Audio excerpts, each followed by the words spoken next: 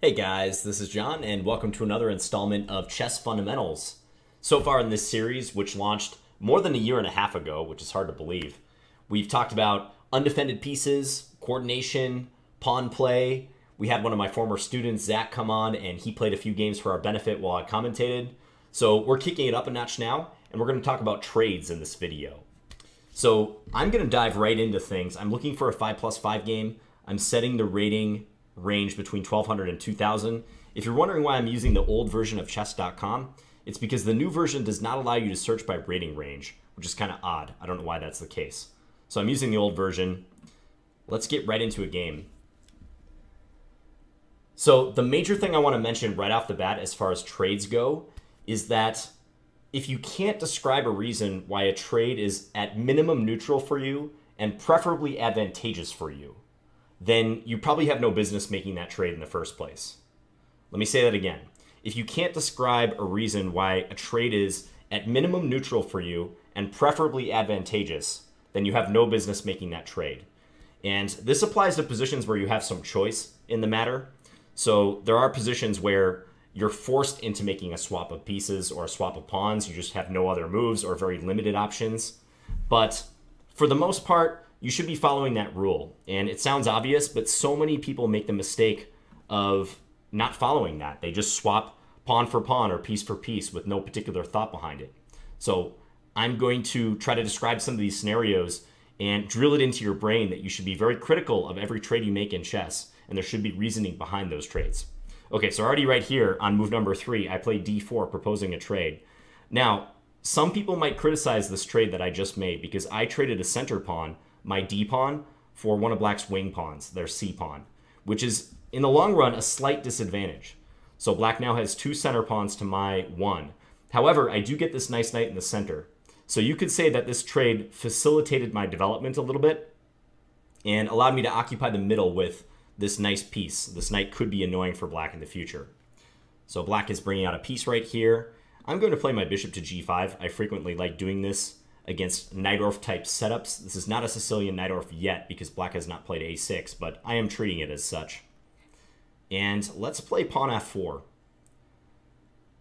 I'm fond of this plan of bringing the queen out to f3 and then castling long.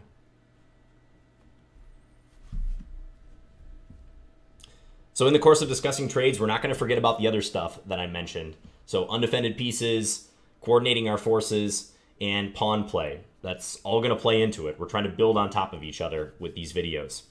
So h6. All right, so do I want to take this knight with my bishop? You notice I had that option before. I could have done this on the last couple moves if I wanted, or before f4 rather. But I'm going to hold off on this trade, and I am going to bring my bishop back because I don't feel I would benefit from bishop takes f6 immediately.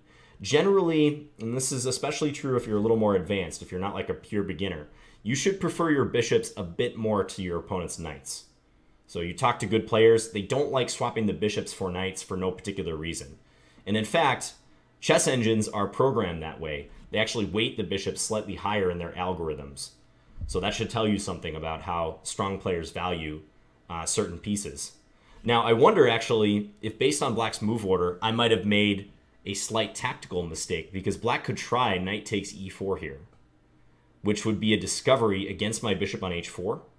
And one idea in that case is if I play bishop takes e7 an in-between move, black can play knight takes c3. I can take their queen on d8, but then they take my queen on d1. So this could be rather embarrassing. I might have dropped a pawn in my first uh, explanatory game regarding traits. so we'll see if Black notices that. I will definitely highlight this moment in the post-mortem if it comes to pass, even if it doesn't come to pass. But fingers crossed Black doesn't play knight takes e4, because I think knight takes e4 is a good move. In that case, it leads me to believe that bishop takes f6 probably should have been played, so I avoid losing a pawn. Lahoy 1494 is thinking hard, and he played it. Credit to Lahoy. Nice find, sir. Okay, so this is going to be fun. You're going to see me try to come back from a potential one pawn deficit. So if I'm going to take one of black's pieces, I have two choices, right? Bishop takes e7 or knight takes e4. Bishop takes e7 or knight takes e4. I already described the line that could occur after bishop takes e7. Bishop takes e7, knight takes c3. There's some weird stuff that could happen, though. I wonder if queen g4 is possible there. Am I crazy for looking at that? Queen g4, queen takes e7, queen takes g7, and then I might be able to get my knight back, and we have equal material. I would have won my pawn back in the process. I'm going to spend a little time on this move because this is important. The game has suddenly sharpened up, and if the game is sharpening, if there's tactics to consider, you've got to spend the extra effort and the extra time to figure out what the heck is going on. So yeah, bishop takes e7 is the move I really would like to play here. Knight takes e4, bishop takes h4 is just a pawn. That comes with check. I'm liking that line that I just described. Bishop takes e7, knight takes c3, queen g4.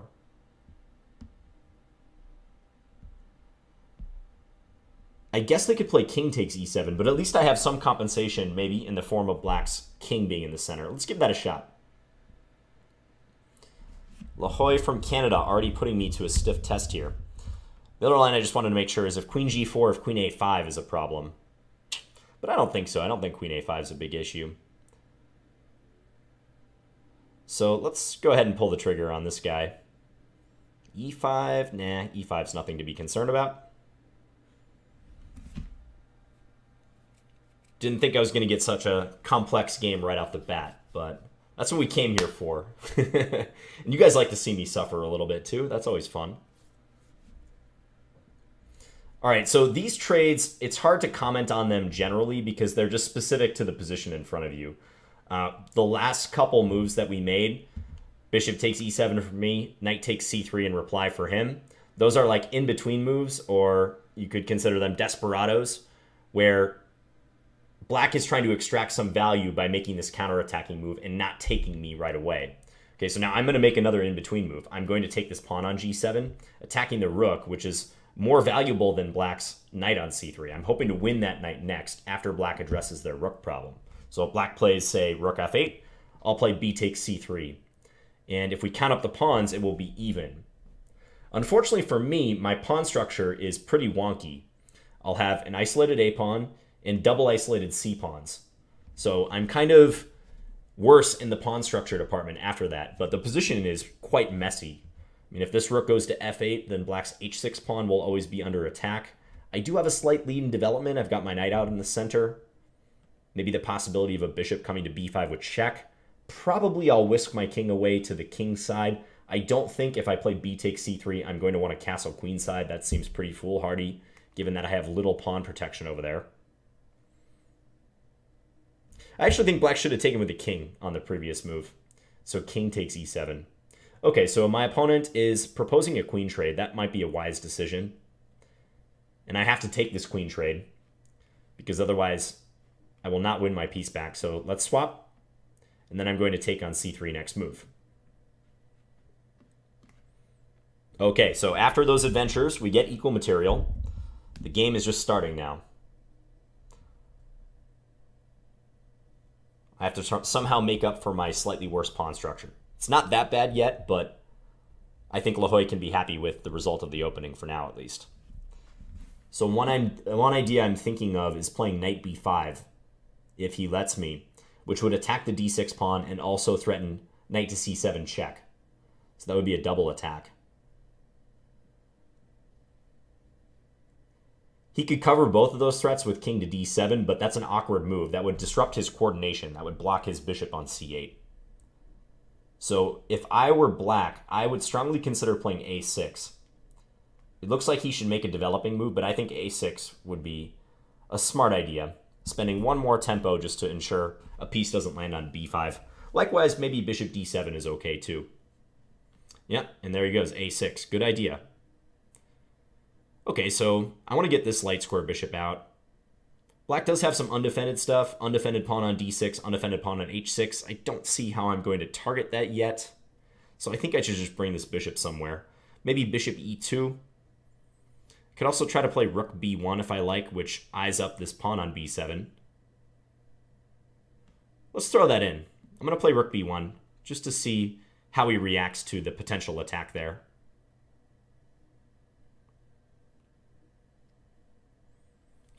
If black decides to push b5, that may give me a hook to latch onto. Maybe I could propose a trade with pawn to c4, which would be doubly good if there were a black bishop on b7. I'd have a pin going down the b file.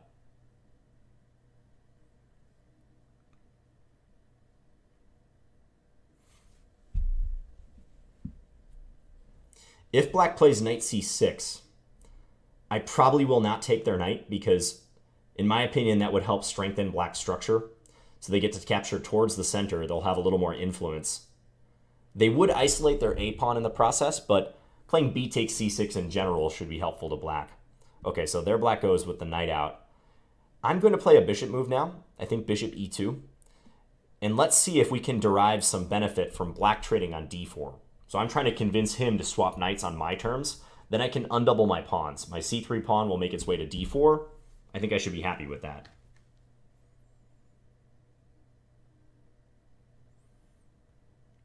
He is using a lot of time. He's under a minute now. We do have that five second increment, but that has to be concerning for black. Black can't play bishop d7 because they would lose the pawn on c6. Maybe they could play bishop d7, rook takes b7, knight takes d4, c takes d4, bishop c6, hitting the rook and the pawn on g2. But somehow I don't think that's wise for black with me getting a bunch of activity, like rook coming to b6 after that. He's got to move faster, though. He's kind of freezing up here.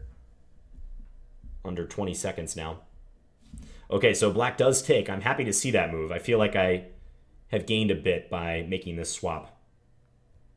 Undouble those pawns.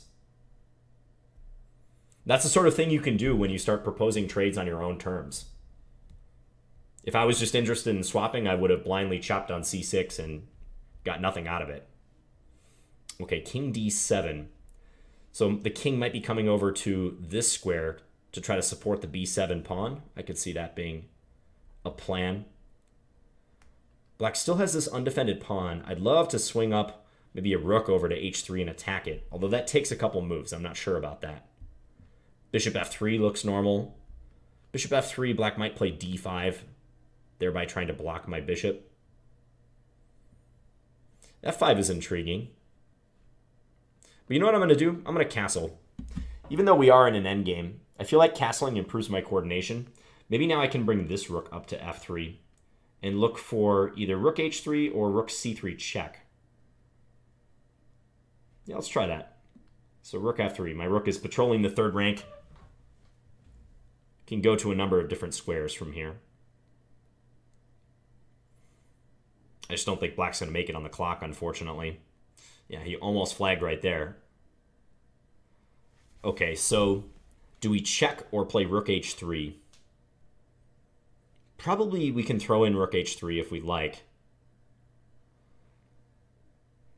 A plan that I sort of like here, it's sort of cavemanish, but rook h3, rook h8, and then bring the other rook up to b3. Yeah, let's do this. So attack that weak pawn. And I'm going to send this other guy up to b3, maybe in the hopes of doubling on the h-file. That's my big idea. So let's bring him up here. Black can play e5, but I have a check over here. So attack the king, and next I can go take this pawn. His idea was that my bishop, or his bishop, was attacking my rook on h3, but once we throw in that check, we get out of the way, and I can take the pawn on e5 next. All right, so kind of a sloppy affair, a 21 move game that ended in a time win. Not ideal, but there were some aspects of trading to highlight in this one, and as well as some other stuff undefended pieces, coordination, pawn play, all the things that we're trying to bring together. So let's have a quick look at that. So I played the Sicilian, and the first trade was proposed on move three when I played d4. This is a book move, this is theory. But some will argue that because of this trade, White has taken on a long term defect and I think that's actually pretty a pretty solid line of argument. Most Sicilian players as white and black will agree with that. Black's two center pawns to white to white's single center pawn does represent a potential long-term advantage for black. White is hoping to make up for that with their influence in the center and their active piece play. So we've already got this knight on the menacing d4 square where it has a lot of options going towards the queen side or the king side. So when black does not play the normal move here, which is knight f6 attacking the pawn, and instead plays a move like e6, I should actually probably take the opportunity, or I should think about taking the opportunity of playing something like c4. c4 and then developing my knight to c3 behind it. That might be a better coordination um, array than with my knight on c3 with the pawn on c2, as normally happens, and as I played in this case, knight c3 immediately here. There is a certain sense of harmony you get when you see the pawn up on c4 and the knight behind it, with the pawn helping to control space in the center too. The knight and the pawn complement each other nicely, enhance control over these, as opposed to the pawn on c2, which is just blocked by the knight. So I was kind of explaining the position and just completely glossed over this decision but yes, I should have thought about playing c4 there. And then after knight f6, bishop g5, pinning the knight and developing, bishop e7. So I'm not taking on f6 right away. That would be a pretty bad decision this early on. That would be the, a sign of uh, a weak player, I think, if your first instinct was just to chop on f6. And there's nothing wrong with that if that was what you first thought about, because a lot of people's instincts are to trade pieces. Because oftentimes, piece trades are the easiest moves to rationalize. You're like, my bishop is worth three, his knight's worth three. Well, this move can't be that bad, right? And the fact that it can't be that bad is what gets you to actually play the move. But those little concessions that you're making, they can quickly add up, especially against a good player. They can take those and just run with them. So unless I see a solid reason to do the trade, I'm not going to do it. So I played f4 instead. But in view of what happened, this is probably a mistake. I mean, I'm already kind of out of book here because of um, the the way black is playing this opening. And maybe I should play something like I don't know, I could think about even moves like queen d2 right away if I want to prepare castle castling queenside. That might be a better option. That gives me one more defender of this square. I might have to drop my bishop back to e3 if black ever attacks it with h6. But I think in view of what happened, I probably committed an error right there. f4, h6, and now I might be obligated to trade if I don't want to lose a pawn bishop takes f6. As much as I would hate to give up my bishop for the knight without having anything to show for it, maybe I could claim that the d6 pawn is now weaker.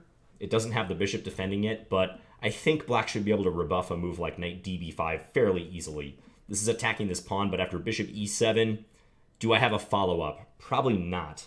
I'd love for my queen to be on d2 so that I could follow up with castling on this move and add another attacker, but I'm not quite in time. Black would be smart to play a6 right now and kick this knight back before I have a chance to castle and lean on that d6 pawn again. So even still, though, I think I should trade on f6 because the alternative was was worse. After bishop h4, black unleashed this nice tactic, knight takes e4. And maybe black has played something similar to this. They seem to be, they paused for a moment here and they seem to be zeroed in on uh, the error that I just committed. So just to recap this, if I take with the knight, black plays bishop takes h4 check. I have to respond to the check. They're just going to retreat. Black's up a clean pawn. So the only other thing to do is what I did in the game, which is take on e7. And now we get into in-between move territory. So Zwischenzug, uh, which is the, the German word for in-between move or intermezzo. So I'm playing a move that is going to require black to also play an in-between move to stay afloat because if black made like the normal move which would be to take my bishop then i'm taking their knight and i've just won a piece for a pawn. So whenever these in-between moves start to appear on the board like redouble your efforts. Try to figure out what's really going on because this is where tactical errors like often happen. It's very easy to lose sight of what's going on if you're responding with like asymmetrical captures or moves that are unexpected most of the time, if you take something, your opponent's going to take back. Like it's very basic. You take me, I take you, etc. But in this case, it's like you take me, and then I take some other piece on uh, a different part of the board that you weren't expecting. So that's what happened when black played in this one. Knight takes c3 on move 9. So bishop takes e7, knight takes c3. And to avoid being a pawn down, as would happen after just b takes c3 and queen takes e7, I tried this interesting move, uh, queen to g4. So figuring that black is going to have to address my bishop, and maybe I can snag this g7 pawn before taking the knight, which is in fact what happened.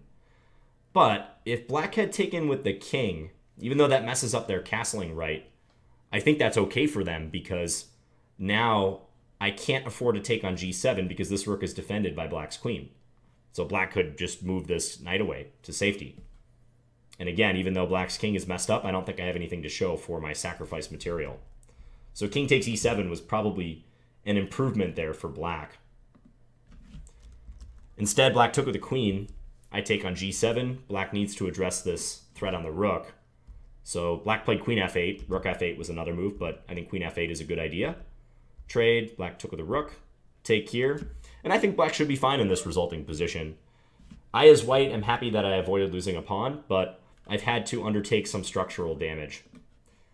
My pawns on the queen side are very weak, so I'm not happy about that.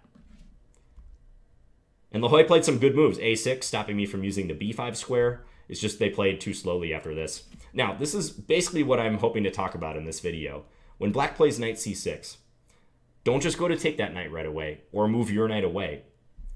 Try to identify what you, you stand to gain by black making the trade on your terms. So instead of you just thinking about knight takes c6 or avoiding the trade entirely, moving the knight somewhere, think about what would happen if black actually followed through and took your knight. As far as I can tell, that only benefits me because I get to undouble these pawns. So that's why I played a useful move here, a developing move, bishop e2. I'm letting black come to me. Whereas if I do that, I think black is just getting a strengthened center. Yes, this pawn is a little weaker, but still, black structure makes a stronger impression than mine. So after I played uh, bishop to e2, black took on d4 and my wish was fulfilled. I was able to somewhat straighten out my pawns. And I think black is still completely fine here, but again, the time was a big factor. And notice how those undefended pieces cropped up? Like this was the basis for my mini plan right here. Swinging the, look, the rooks along the third rank. Rook h3, target the h6 pawn.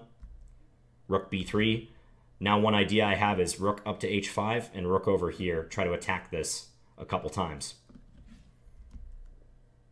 Yeah, now black tried e5, opening up the bishop towards the rook, but that turns out to be a, a bit of a tactical mistake because of the check move. And here black flagged, but if they had got out of check, then I was planning just to take and end up winning a pawn. I should be able to keep that pawn too. Okay, so enough about this game. Eventful one. Let's look for another game. See if I can redeem myself in the opening. One thing I wanted to mention while we wait for a game here.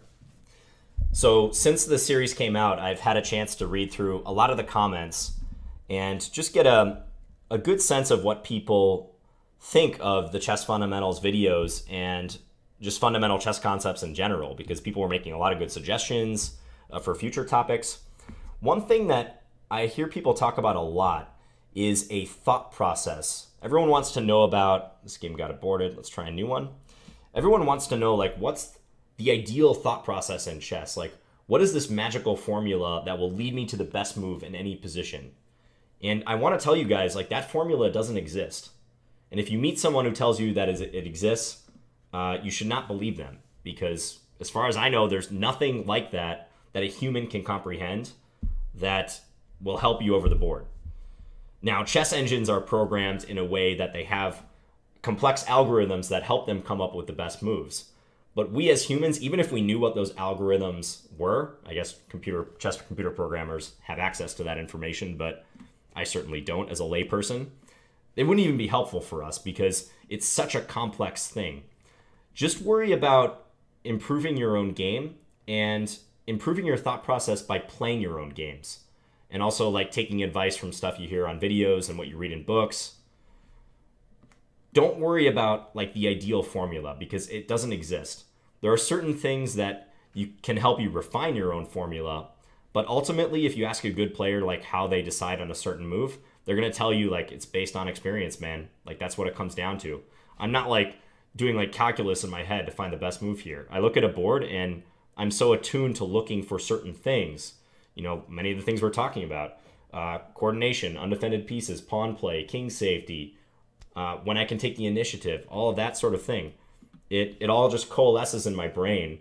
And I guess if you want to get really precise, your unconscious will find the best move for you. It's not a conscious thought process. I'm not thinking, uh, at least in, in pretty simple positions, like how I can come to the best move by applying a formula. It's never like that. So semi rant on that topic, but I wanted to get that out there. Okay, so pretty normal game so far, just a symmetric king's pawn position. I could develop my light square bishop, but I'm kind of curious if black is going to pin me with bishop g5. I could also play h6 if I wanted to stop that idea. You know what? Let's just play a6. This move looks kind of like a time-wasting move, and I have warned you guys about playing early rook pawn moves in the opening. But my idea is that if black plays, if white plays knight a4, I want a space to drop my bishop back to on a7. Okay, so now that I've convinced white to play bishop g5, I'm going to play h6 and see if they swap. White could have kept the pin. They could have played bishop h4, in which case I might have played pawn g5. I'll talk about that after the game. But okay, so white has made this trade of a bishop for the knight. I am not unhappy with that trade. Now I have to go back to c7 to defend this pawn because unless white has something to show for having given up the bishop pair, I don't know that that was a good swap for them on f6. If I were white, I would think about ways in the short term here that he could play for an initiative because otherwise he might not have a chance. Okay, now I could think about bishop to g4. I think I'm going to play that move. Unless, wait a second, John. If bishop g4, am I going to run into knight takes e5? Similar tactic to what I ran into next uh, on the last game. That might actually work. Bishop takes e2, knight takes c6, bishop takes here. Yeah, I don't like the look of that. I'm just going to castle. We're going to play a safe move for now. White c4 move does weaken the d4 square. This is a square I'm eyeing. I'd love to plant a knight here if I could. If I could get a permanent knight on that outpost, I would be loving life. Okay, a3, what does white want to do? They're trying to push b4, for sure. So do I try to address that threat? Do I let it happen? I'd still love to do this and then take the knight, but I don't think it's panning out in the short term. So bishop g4, knight takes e5 is still working out in white's favor, I believe.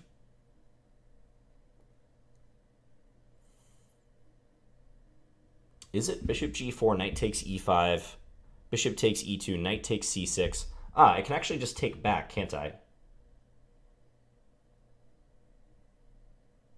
Yeah, I think I can just take back on e2. Okay, I think I can play this move. Maybe I miscalculated.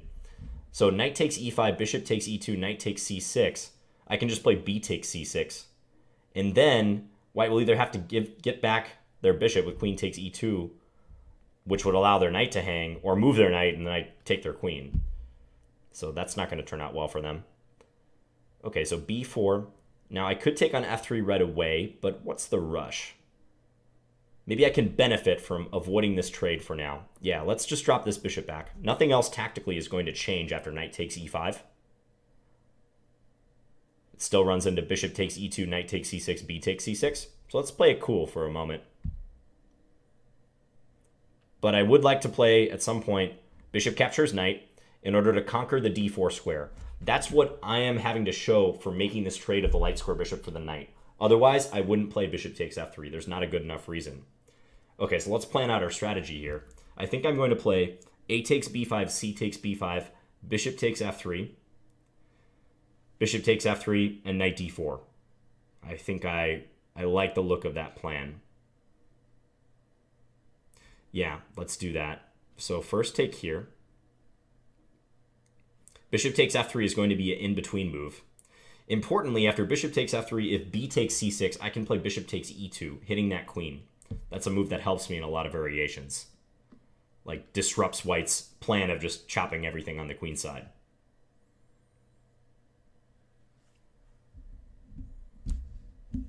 Okay, so now we're going to jump into the promised land, this d4 square. My knight is a lot more powerful on d4 than white's is on d5, even though they are complementary squares in the center because I have the option of chasing his knight by playing c6 at any given moment, whereas white does not have that same luxury. Remember when they played that pawn up to c4, I was talking about how it weakened the d4 square? This is a good example why. So again, as far as trading goes, do I want to play knight takes f3, give up my glorious knight, for this bishop that is just basically blocked by white's own pawns? Absolutely not. Unless I had a good way to capitalize on that. Maybe you could argue for knight takes f3, queen takes f3, bishop d4, hitting the rook, followed by c6. Like, that's a move that's on my radar. I don't think I have to jump on that yet, though. I'm actually thinking of just playing bishop c5. Let's just improve our bishop a little bit. Get my rook on a8, working towards that pawn on a4. And c6 could be on the agenda. Let's let white suffer with this bishop, which, as far as I can tell, is virtually unemployed in this position. Yeah, bishop g4. He's trying to improve his prospects with that piece. Makes sense. Now I might go for this c6 move. I could also do some stuff like maybe try to double up on the a file, but I think I need to start with c6. Yeah, let's begin with that move. Kick out that knight. Got to watch my time a little bit. My opponent is killing me on the clock right now. Okay, so one thing white could do, and this might actually be the best plan for them, is to try to trade knight for knight. So yeah, they might be getting into position to set up a knight swap, like knight to c2, knight c3 to e2 would have been another plan. So pretty good idea for white. I want to attack this pawn with everything I've got. So let's play let's play rook a6. Eh, let's go rook a5 instead. Both moves I think are good. Maybe knight c4 white can play. I probably should have put the rook on a6. Still not too bad. My idea is queen to a8, basically. And doubling up, trying to attack this pawn. So white gained a tempo by hitting my rook, but I think in the long run they would still like to trade off my knight on d4. It seems to be white's best plan. Hmm, okay, so I think that's a clear sign that white is trying for f4. They're going to look to get this move in. Maybe I should send the queen over to g5 for this reason.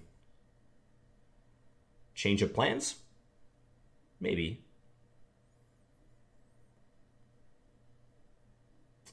I'd also like to perhaps play d5, although I don't want to lose e5. Let's play queen g5, see how that goes. Stopping f4 for the time being eyeing up this bishop.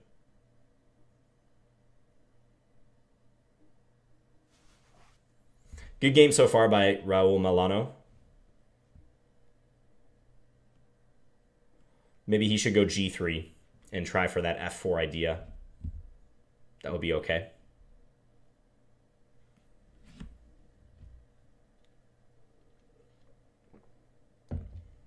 Well, so far I'm I feel like I'm talking about a lot of instructive things, but my positions are maybe not reflecting um, some of the things that I'm I'm trying to impress upon you guys. so I got to do better in the course of this session. Okay, f3. That strikes me as an ugly move because his bishop is defended, but it can't ever retreat this way. So there might be some issues with that bishop being trapped in the future. I'm going to keep that in mind. Let's play our rook over. We've got optimal coordination going on now. All pieces performing some function. Good knight in the center. Bishop defending d6, also defending the knight. Doubled rooks attacking this. Queen out, causing some trouble on the opposite wing. So from a coordination standpoint, I'm liking this. Their queen is kind of glued to the d1 square because that is helping to support the a pawn. Hard to come up with an idea for white. I think they needed to stake their claim to g3 followed by f4. That would have been the most uh, intimidating line of play, I think, at least from my perspective here as black. What will I do next if given the choice? I might play for d5. I'm still considering this idea. Okay, so this move does not contain a threat because this pawn is defended twice.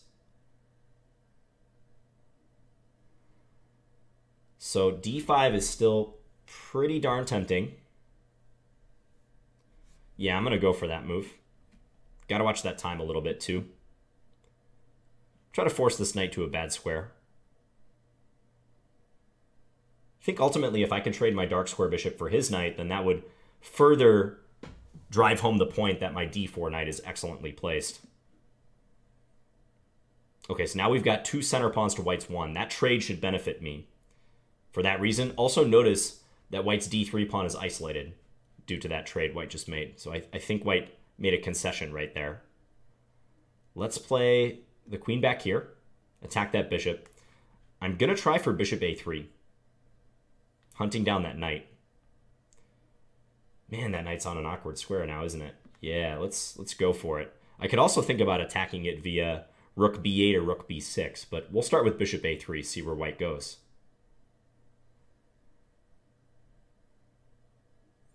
Kind of running out of squares for that piece, aren't they? I mean, it can't go to a safe square now. It can only be defended, like rook a2 or rook b1. Queen d2 could run into knight b3 with a fork on the queen and the rook.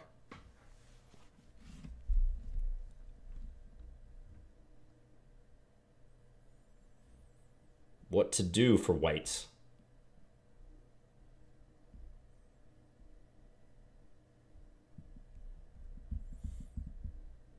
Yeah, awkward position. So right now I'm just trying to use my time to figure out what I'm going to do against rook b1 and rook a2 because I think those are white's best chances. I'm thinking of just a... Whoa, that just drops the knight.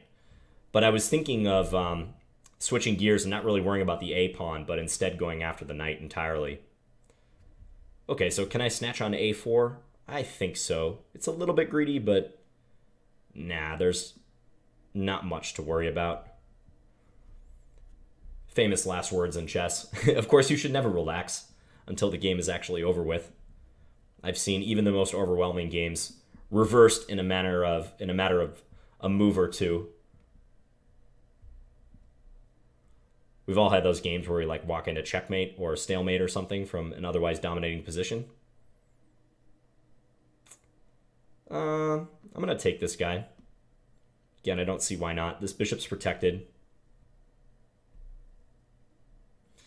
Can maybe try for f4, looking to put pressure on e5. I'll just push past with e4 if white does that. queen there. Okay. Let's go here. Trying to get out of the e-file pin. Also support my rook.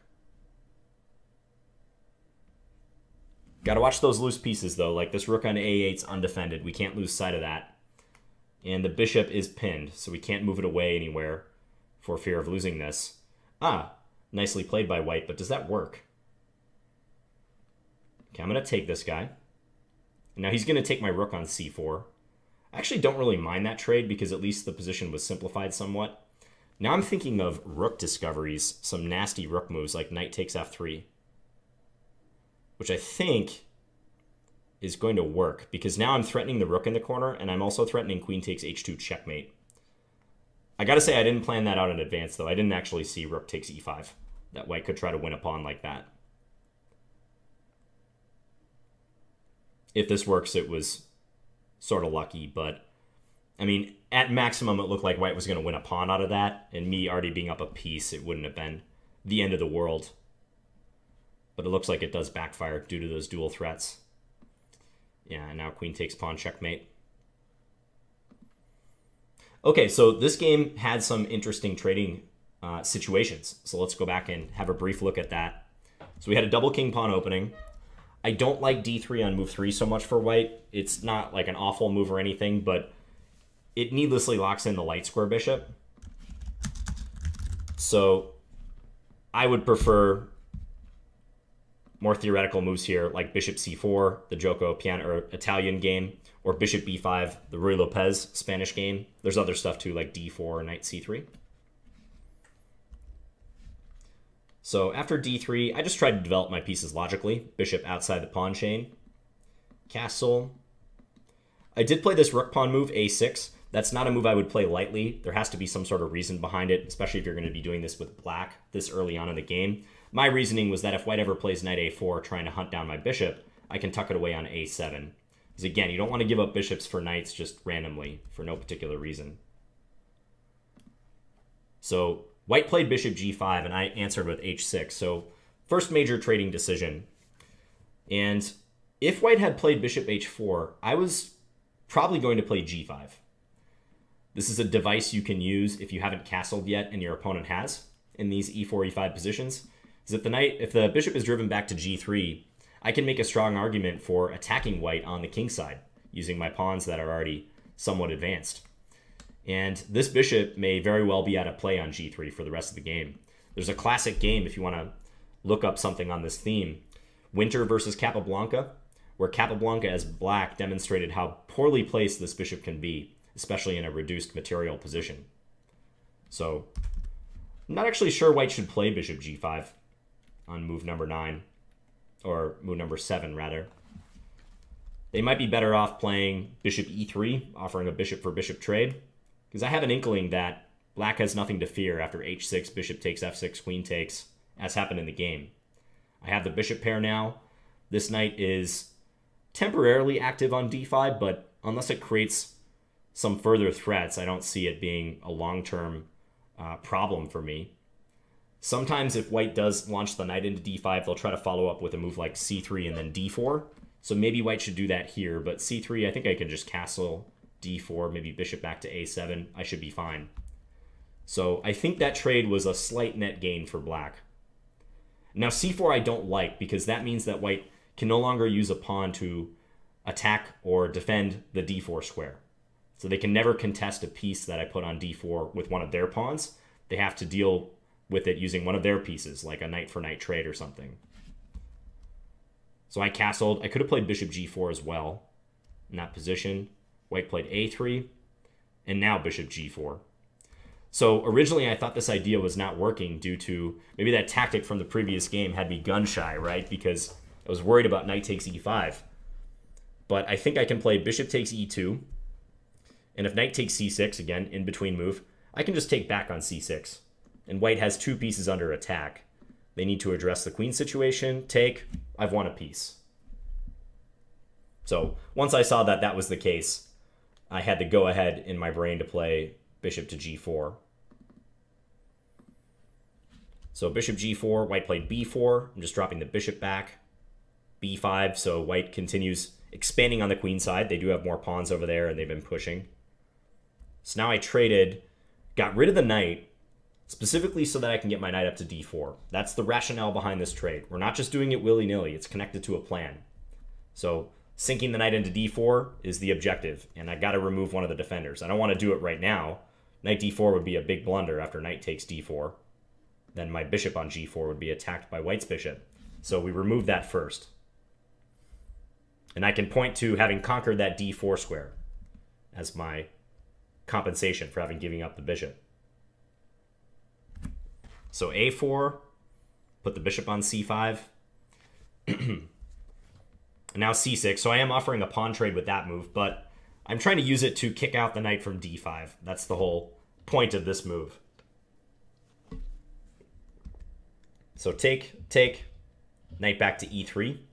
I was running a little short on time at this point, but I think white maybe should have focused on trying to swap knights. So maybe knight to c2 right here, looking for a, a knight-knight trade. I would have a pretty strong bishop even in this case. Like imagine if something like this occurred. I love my bishop on d4. I feel like it's a lot more effective than white's bishop over here. But could I break down white's position? That's still up in the air because as long as white defends a4 and doesn't lose that pawn outright, I still have quite a bit of ground I need to um, cover before I can win this guy. Maybe I would continue with queen a6 and look to triple on the file. Attack this weakness and this weakness.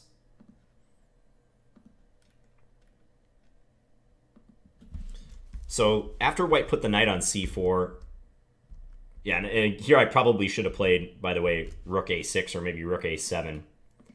Rook a5 was kind of asking for knight c4. I'm not sure I should have done that.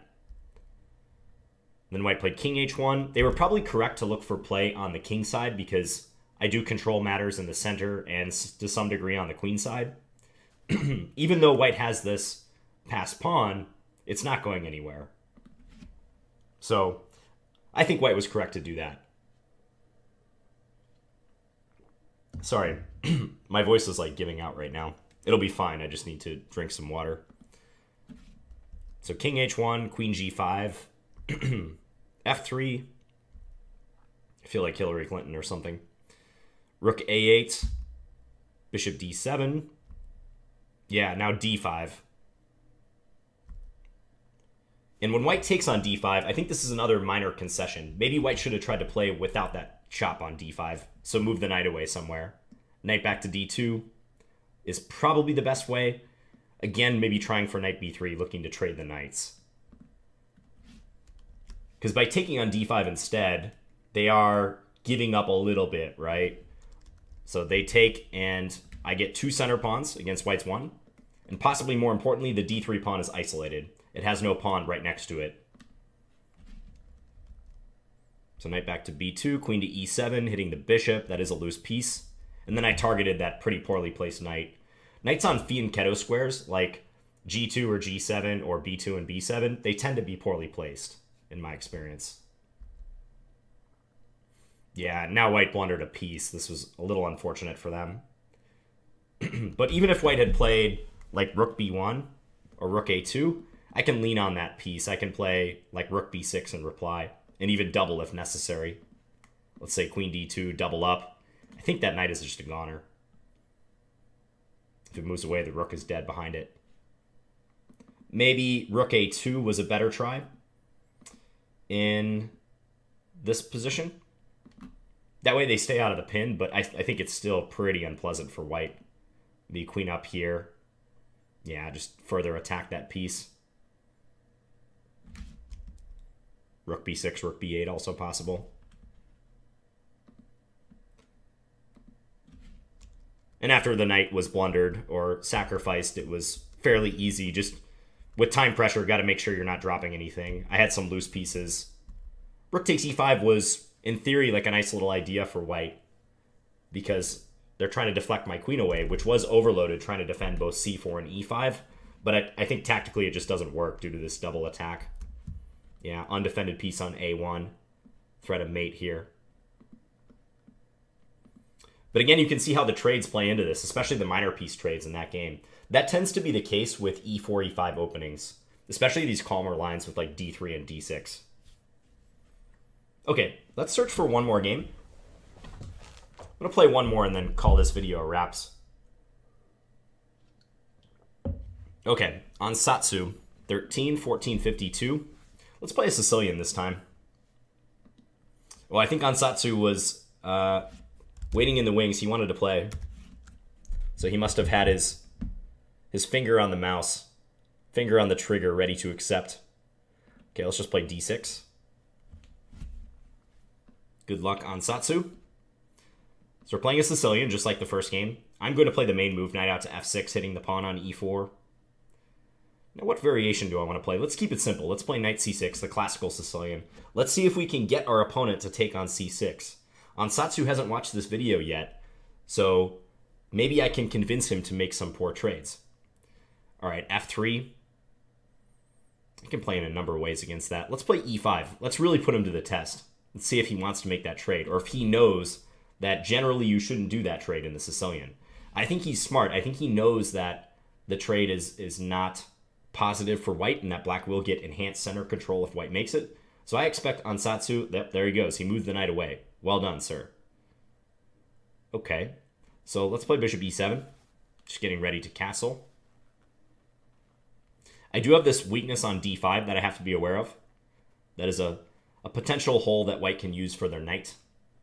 So the basis for a plan for white might be similar to the last game. They could try to play the bishop out to g5, eliminate my knight on f6, and then later jump the knight into d5.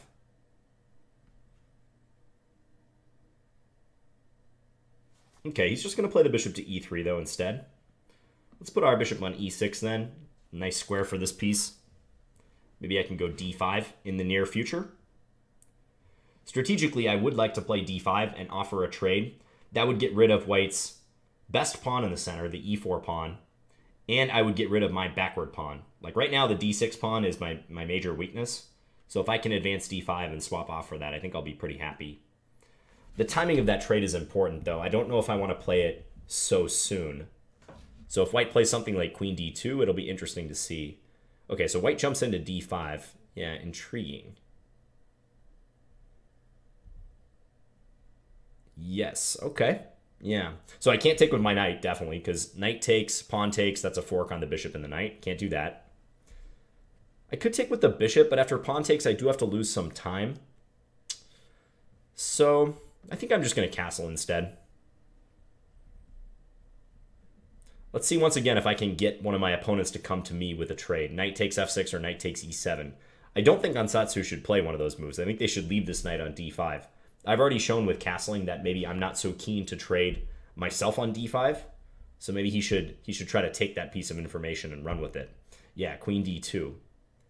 If my knight were not on c6, I think I would love to play knight takes d5, but as it stands now, I, I can't do that. Okay, so now I'm thinking about playing a5, but I do have to watch stuff like bishop in, into b6. That could be nasty. Is it that bad, though? Maybe not. Let's try it. So I weaken that b6 square. They can try to sink the bishop in, but after queen d7, I think I'm all right. Knight c7. Uh, knight c7 could be an issue, actually. Rook c8. I might lose the pawn on a5.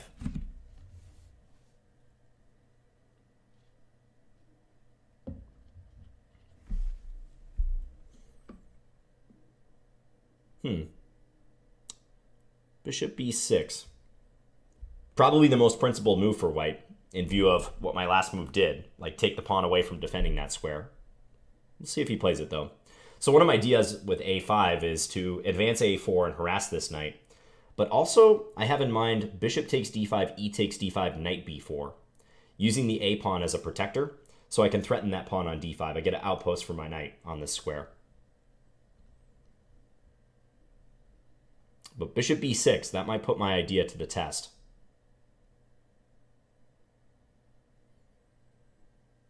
I don't think I lose a pawn in that line. No, I, I probably do, actually. Bishop b6, queen d7, knight c7. Yeah, he's going to go for it. Interesting. Good decision. I mean, I can throw in bishop takes b3 somewhere if, if need be, but I prefer not to have to do that. Any other move than queen d7 makes sense? Probably not. You might even just leave the knight on d5 and just go for a5 anyways. So let's play this.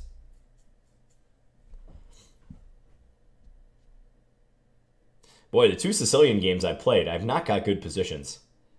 You guys can see why I play d4 as white or knight f3 on move 1. And as black, I'm playing the Scandi. Go Team Scandi. no, I mean, I have some ex Sicilian experience. You might know I play the Kan Sicilian quite a bit on this channel. But um, these two games have just not gone that well in the opening. Okay, knight c7. So white's idea probably is to eliminate the bishop on e6 and then go after this pawn. I might get some counterplay in the center, though. Okay, so let's play rook c8. And if he takes, I'm going to take with the queen. And then when white takes a pit stop to win this pawn, I'm going to try to bust it open with d5 right away. So I'm saying goodbye a pawn, bon voyage, let's attack in the center and try to claim some counterplay.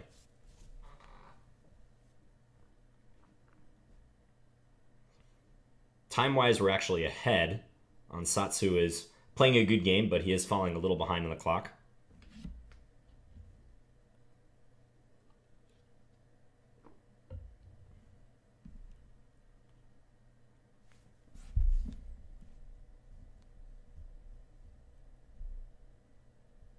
Okay, so I was thinking take with the queen, but you could also make an argument for the pawn capture.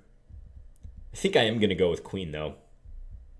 It just seems like a more coherent way of capturing. Yeah, let's do queen. I don't mess up my structure. So that was a good trade as far as white's concerned, I think. They get rid of my light square bishop, so they have the bishop pair, and also they're in the process of winning a pawn.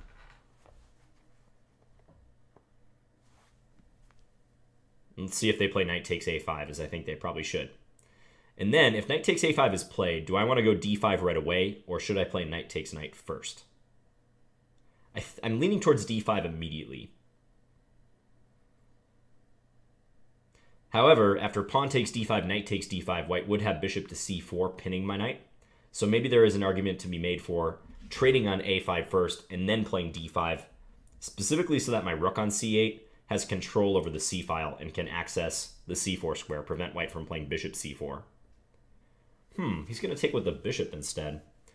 All right, so do I take this bishop? First instinct, no. I don't think that would be an immediately beneficial trade. Like, this bishop doesn't make a strong impression on the side of the board. I feel like I can always take it if I want. Whereas here I can play... Well, again, there's that, that issue with bishop c4, isn't there? The bishop c4 move is creeping. So again, I would like to play d5, but pawn takes d5, knight takes d5, bishop c4. How do I hurt white after that? Knight takes a5, they can even take on d5 then. In between move. Hmm. So knight takes, knight takes. That hits this pawn as well. Maybe b6, knight b3, and then d5. That could be the way forward. Yeah, let's do that. So we're going to take and then probably b6. Just don't like this knight supporting a future bishop c4.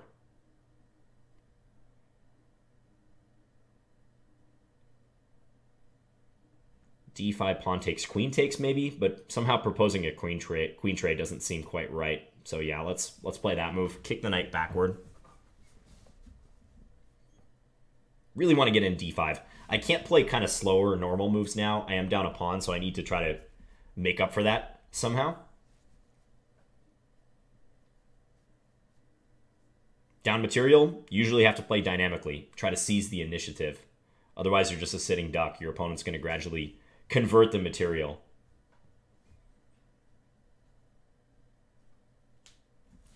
I'm getting saved by the clock once again. My opponents are just playing really cautiously. He's going to be under a minute soon. He already is under a minute.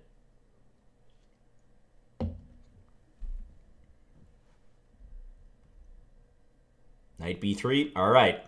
We're all in. d5. Let the die be cast. Yeah, white's behind in development, so they have to tread carefully. I think they'll be fine if they negotiate the uh, lack of development. Like maybe they can castle here. Yep, there, there white goes. Or bring the bishop out soon. Now my knight on d5 is attacked. I think just rook over to d8 makes sense. Maybe looking for discoveries. Bishop g5 would be really nice, but that just drops a bishop. Ah, knight b4. Why am I not looking at knight b4? Knight b4 looks awfully strong, doesn't it? Yeah, we got to play that move. Hit c2, also hits a2. That should have that move should have just popped up on my radar instantly. Took me a second to find it though. Supported by my bishop, so that knight is fine, but we've got the double attack here. If white plays c3, then I could play knight takes a2 followed by queen takes b3. Yeah, so they make a developing move. Now, the easy move is just to take on a2 here, but I'm looking to see if I have more like maybe even rook fd8, trying to strengthen some of my ideas.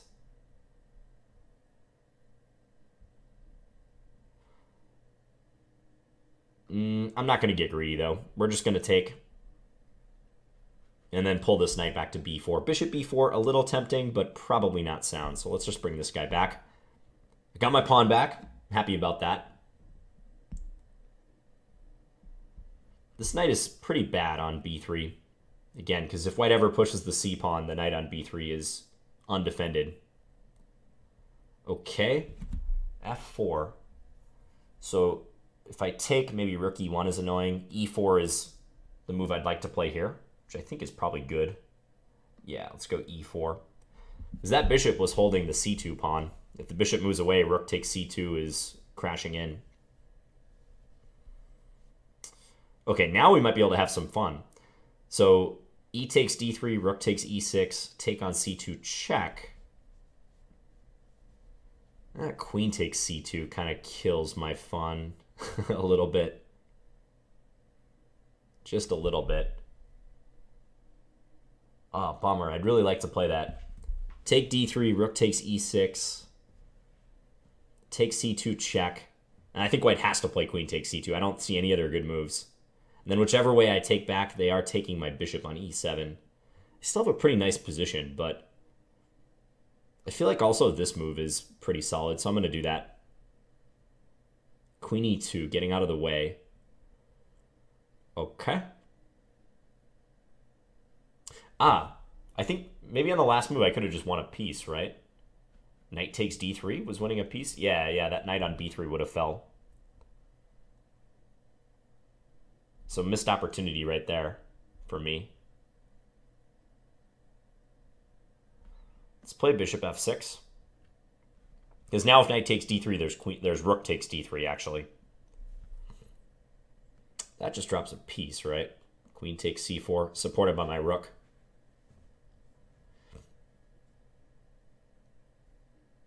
Blitz is tough, guys. And you can see I'm making mistakes. My opponent's making mistakes. No one plays perfect blitz. No one plays perfect chess. So, the faster the time control, the more likely you are to make big mistakes like you're seeing a bit in this video. Okay, so the rook doubled up. I think I should just attack c2 again. Let's do that. Ah, he's lamenting his last few moves in the chat. Okay, so we win that game. Let's go back through. Not as many um, outright trade situations in this one. There were a lot of decisions driven by tactics and material. So open Sicilian once again. Yeah, knight c6. And Ansatsu, uh, I can definitely tell he has some experience on the white side of the Sicilian because I see so many people just chopping on c6, but as we've already described, that doesn't work out favorably for white. So he plays f3. I don't want to take on d4 because that would allow white to bring out their queen. And it's hard to harass their queen unless I want to play e5, which isn't as good now that a pair of knights has been traded. Uh, one reason for that is I think white will have an easier time conquering the d5 square if they undertake some plan like bishop here and try to take on the square. So I, would actually prefer to have that pair of knights on the board, and I don't want to assist white's development. So f3, I decided to play e5. I don't have as much experience with this particular pawn structure, but it looked like just a way to try to challenge him and see, again, if he was willing to take on c6 or not. More often I do operate with the pawn on e6 instead. So e5, because you do undertake the strategic risk of weakening the d5 square. You gain a little more space, but that's the price you pay. Bishop e7, bishop e3. So if white was intent on trying to bring about that plan, then you know bishop g5 could be considered. But I wonder if bishop g5 has the same problem as we kind of saw in the in the previous in that first game I played from the white side, knight takes e4 or h6 first. Here, I guess maybe one difference is that after this, there is knight takes d6 check possible. So white probably could consider bishop to g5. Not that there's anything wrong with bishop e3 either, but that was a possibility. So bishop e3, bishop e6, knight d5. And this is a little annoying, not going to lie. I mean, in retrospect, maybe I should take on d5 with the bishop and then play this sort of anti-developing move, knight to b8, looking to come out to d7. But I thought I could kind of deal with the knight on d5, and it turned out to be maybe um, better a better decision to actually take it early on and try to play this way. Could also play knight b4 here, but I feel like my knight is kind of floating out there. It doesn't have the a5 pawn for, for protection. I am attacking this guy, but maybe white can throw in a check and try to disrupt my coordination. I might have to move my king then. Still, though, I think I should have considered that. So going to this position, I castled, white played queen d2, and now I played perhaps a bad move, a5. I didn't think the whole bishop b6 thing through, and the fact that my pawn just might be hanging in a lot of lines. I was looking for other ways for counterplay, because white is sort of controlling matters in the center. And just to speak to trades once more, Ansatsu is recognizing that the status quo of this knight on the d5 square benefits him. He doesn't want to make it easy for me by trading on f6 or e7. Even though, like, taking on e7, he would win the bishop pair, look what that does to my coordination. I get my queen off the back rank, I connect my rooks, and I'm primed to play d5. Maybe I can stop that with c4, but I don't think I would have minded this scenario as much as the one that happened in the game where I was kind of cramped and ended up losing a pawn. So that's the sort of thing you want to be thinking about too. How are those trades working for you or against you? So a5, bishop into b6. I played queen d7. Yeah, knight c7. I moved my rook over. And now he took on e6. So white does end up winning this pawn, but in return I get some play for it. And as I was saying, if you're down material and your position is kind of going south, you got to look for dynamic counterplay. Like, don't make the mistake of thinking that you need to actually turtle up and play passively. No, like, that's not the time to do it. Um, very rarely should you actually go completely passive in a chess position, by the way. But especially if you're down material, you're not gonna you're not gonna get back in the game by keeping things even keeled for the most part. I mean, mentally you should be even keeled, but you should try to find some way to disrupt the position, force your opponent to a, a difficult decision. So that's why I broke with d5. I mentioned early on that this generally is a good move for black to get in in the Sicilian. Get rid of their backward pawn, trade off for the pawn here. Now I'm starting to feel like I have some play. And white castled and opened themselves up for knight b4. And now I was truly back in the game. I think white might be in some trouble at this point. So probably white should have played a bishop move roundabout here. Like bishop e2, try to whisk the king away to the king side. I think the king side is where they would like to end up. Black has some compensation, maybe not enough though.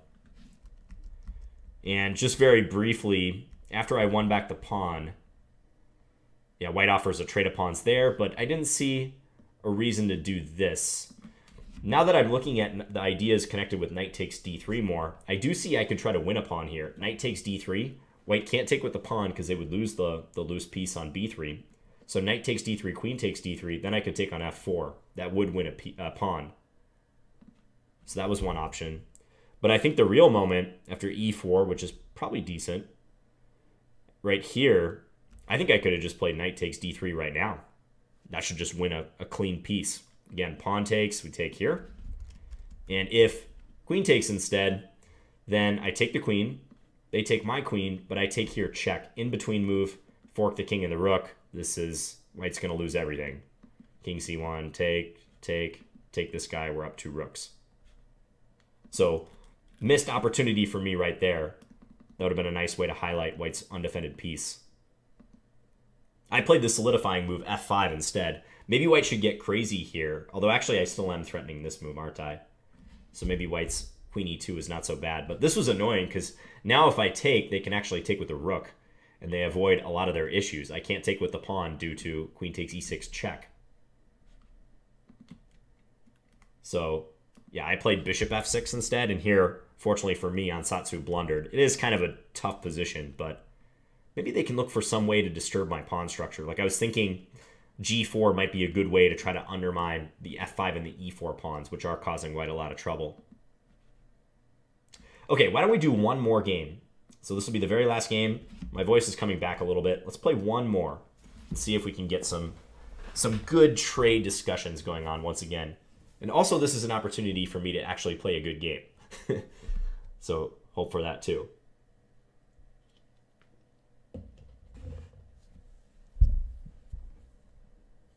And Elm has been asking in the chat.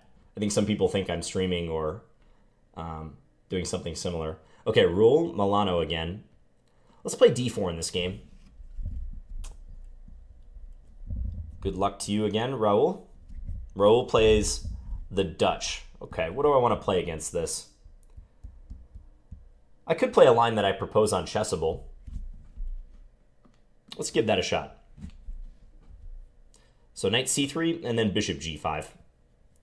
Creating tension between the bishop and the knight. Now, we've already talked about this type of scenario quite frequently. You're probably gathering that bishop versus knight trades or potential trades happen a lot in chess, especially in the opening. So I'm not going to take here because I don't double up black's pawns. Black can just take with the queen. I am going to play e4, though. So if pawn takes, I can take with the knight and further attack that pin piece. Black plays bishop e7. All right, so I have an intriguing decision to make. Now black is threatening to take on e4 and win a pawn. Knight takes e4. So I should release the tension somehow. And I don't think defending the pawn is any good. So I'm looking at either e5 or taking. If I take on f5, black's just going to replace that pawn. But if I play e5 and avoid the trade, I win a tempo by attacking this knight. And I don't think black's knight like has too many good squares. At least that's not the way it seems to me. Yeah, so let's gain that tempo. I didn't feel like f5 was benefiting me much. I would describe that as a neutral trade, if anything. So I think I can get more by playing e5. And now knight g4. I think I would have played knight d5 if I were black. Knight g4 looks awkward. I feel like I can gain some time by attacking this knight. If I make the trade right here, black can bring the queen out. That does help their development. But what else can I really do? I could move my bishop back maybe, but... Well, actually, maybe maybe that makes sense. Like bishop back to, let's say, d2. Maybe I can look to play h3, knight h6, bishop takes h6. Let's try it. So what I'm looking to do here is, again, by avoiding a trade, create more um, more return on my investment, if you will, for this this move, this tempo move I'm playing. I'm trying to get black to play knight h6 very soon so I can chop on h6, make an even better trade. Okay, now black is hounding my bishop. They really want that bishop off the board. But now I can potentially make some developing moves like knight f3, attack that bishop, make black come to me. Bishop takes d2, queen takes d2. All of a sudden, I've got a couple pieces out there. Yeah, let's do that. I'm not going to kick this knight even yet. I'm just going to play a good developing move, attack the bishop again, and look at that. I got my queen out and my knight out because I avoided that trade. Didn't take on e7 right away. That's the power of thinking about how these trades work out for you. Okay, so black castles. I can castle queenside right now if I want and maybe storm him. Could also try to play in the center. I am going to go queenside. Let's make this a rumble.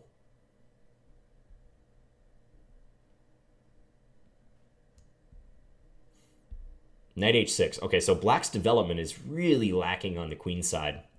Normally, with opposite side castling, you should immediately prepare a um, pawn storm and just try to get at your opponent as quick as possible. But the reason why I'm not so keen about that plan here is black doesn't have too many weaknesses on the king side. I mean, as potentially sketchy as they played the opening, uh, it's not so easy to take them down with a storm because of this pawn on f5 in particular. I could try h3 followed by g4, but I'm liking this d5 advance. I gotta be honest. I think breaking through in the center, you know, I've got my queen and my rook lined up on the d file. I got my knight supporting. I mentioned black's severe lack of development on this wing, which does translate to weakness in the center. So let's let's strike while the iron is hot, d5. Pawn for pawn trade. If black takes, I can take with my queen and deliver check. And also I'll have my queen staring down that d7 pawn. So black decides that trade is not worth it for them. And maybe correctly so. Queen e8 though, what did this pawn what did this weaken for black? What is now undefended? Pawn on c7. So I'm thinking, can I shoot my knight up to b5, attack that guy, and derive some benefit from that?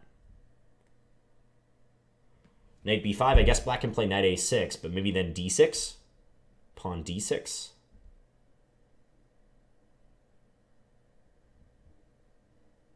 Yeah, let's do it. So hit that c7 pawn.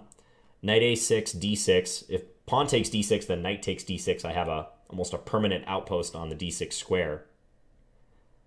So black should probably play c6 there, in which case they're very, very cramped. Although the position's a little closed, I will admit.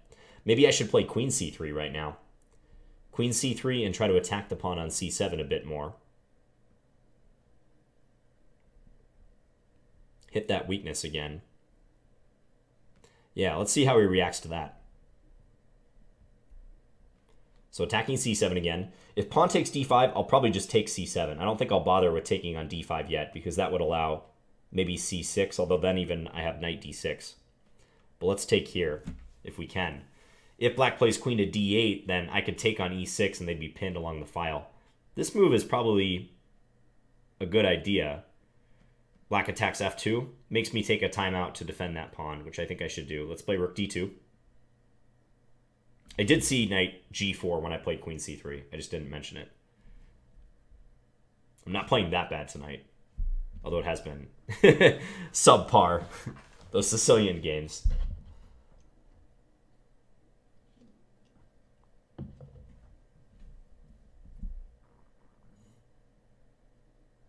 Okay, what are you going to do, Raul? Yeah, so he buckles with c6. Now I get my knight into the promised land, into that d6 square. Do I take first or do I play knight d6 immediately? Probably knight d6 immediately. Let's just be flexible. Depending upon where the queen goes, maybe we have more options and we can decide which capture we want to make. d takes c6 or d takes e6. They might resolve to the same position if black takes with the d pawn in either case, but you never know. Good to, good to have options. So queen e7. I think I'm going to take on c6 just to give black a chance to go wrong and blunder a piece. If d takes c6, b takes c6, I have knight takes c8, followed by bishop takes a6. I do see a way I can also win a pawn with this whole transaction, but first let's take and just give black a chance to mess up. Okay, black correctly takes that way. All right, so decision time for me. I can win a pawn here. And if you notice the combo to win a pawn, good job. I can play bishop takes a6, pawn takes a6, queen takes c6, which also hits the rook here. The only thing is, like, he's going to get some play because of that. He can maybe get his bishop out, and there are open files on the queen side. So that may not be the worst thing that's ever happened to black.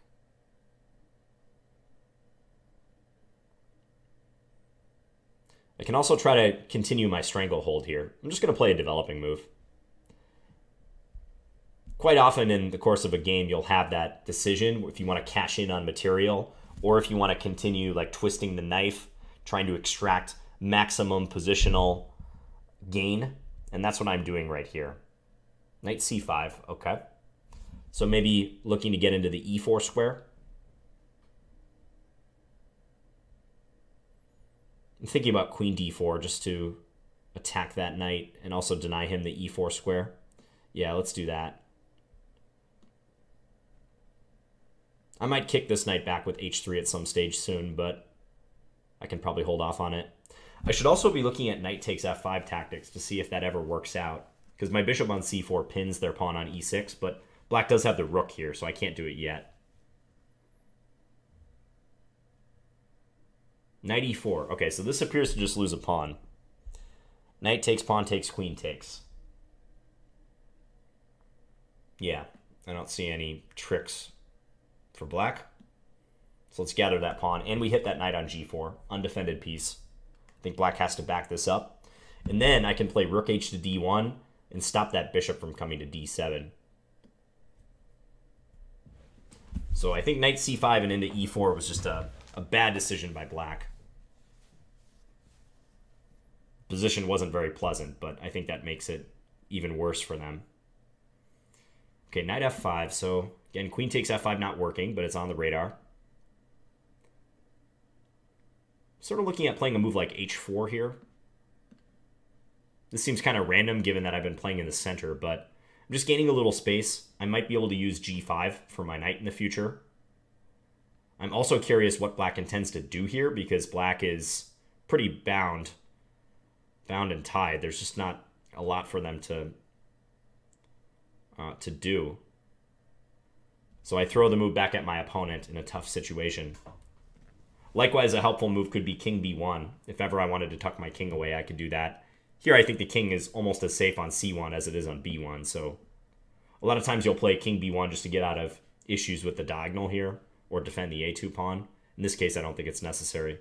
Okay, so now maybe I can go knight g5 and attack this pawn on e6. Yeah, we can even follow it up with g4 very soon.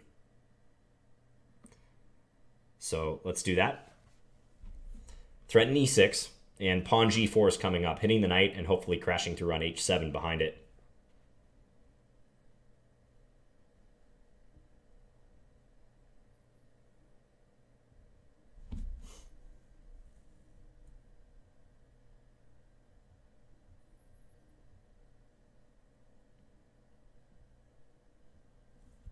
That discussion about uh, trading on your own terms in this game, when I pulled the bishop back to d2, that's an important one. Like if you find yourself thinking in those terms, like that's already a sign that you've absorbed some of the stuff I'm think I'm talking about today in this video.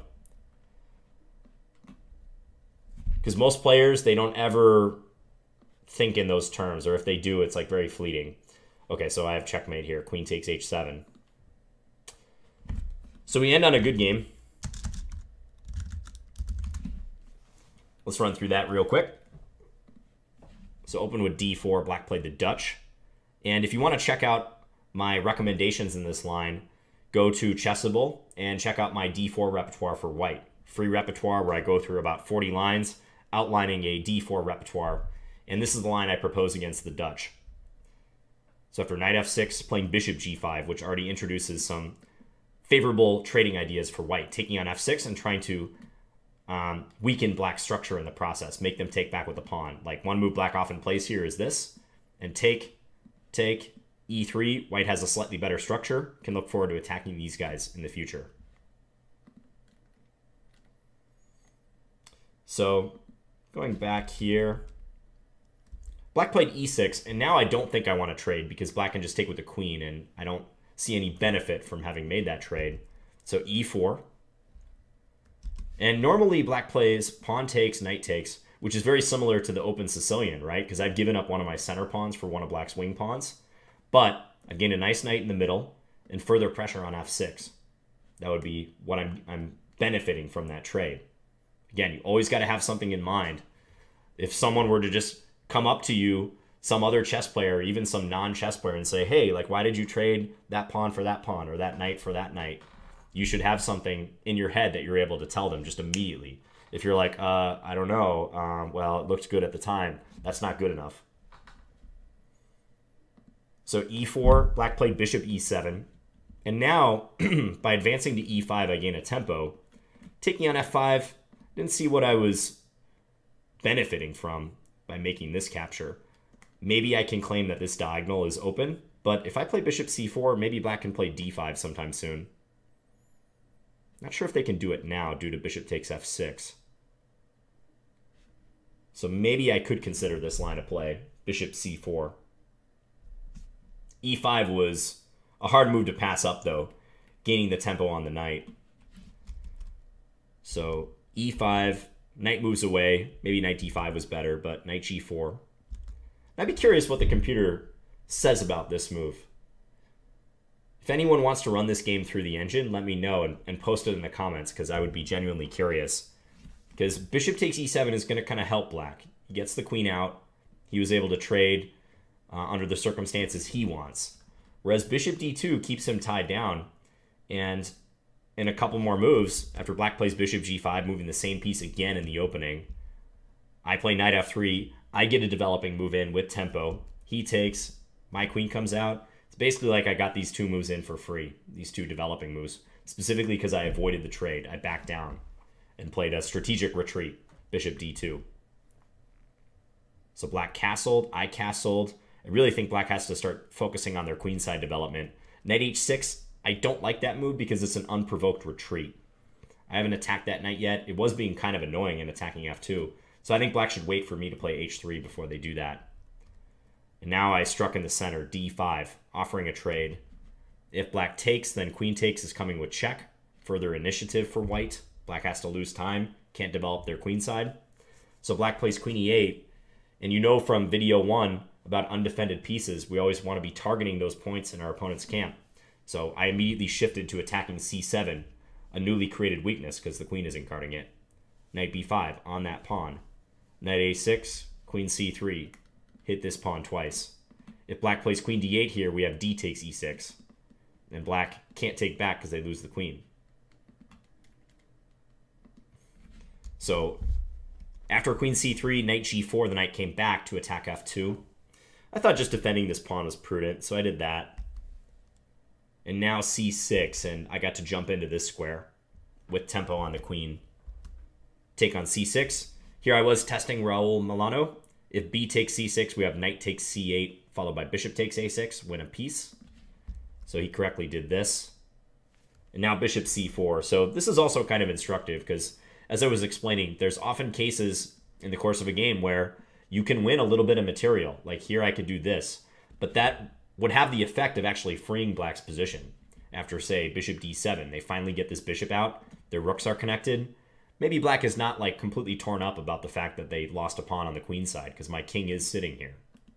Now I'd have to go into consolidation mode, probably play kind of defensively for a while to make sure black doesn't whip up a quick attack. So I thought, why do that when I have such a grip on the position and this bishop is so bad on c8 and there's just not really a lot of coordination going on in white's camp. So I just played bishop c4. I think black maybe should play knight c7 or maybe bishop d7. I would try to connect the rooks in some way very soon. With knight c7, maybe they could plant the knight on d5 and try to break my rook's communication with the knight on d6. Instead, knight c5 here, and here's where things fell apart for black, because knight e4 just dropped a pawn. And now they had to move the knight from g4. Doubled up the rooks. This is a prophylactic move, stopping bishop d7. I have two attackers on that square. I started playing a bit on the king side. Yeah, we're attacking this weakness on e6. And now combined with g4, black is just done for. Uh, maybe they can survive a little bit if they play a move like h6 and counterattack my knight, but I'm already up a pawn. All my pieces are attacking. It's pretty much lights out.